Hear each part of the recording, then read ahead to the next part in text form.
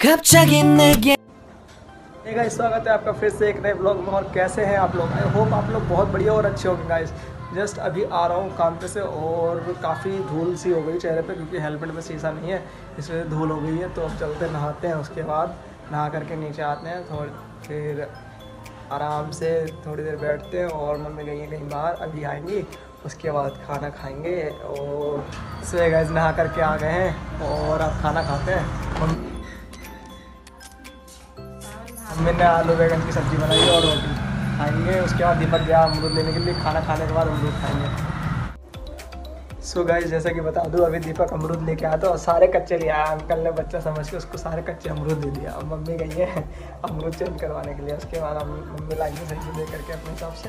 फिर उसके बाद अमरूद का चाट बनाएँगे, अमरूद को काटेंगे, उसके बाद मसाला मिला के फिर खाएँगे।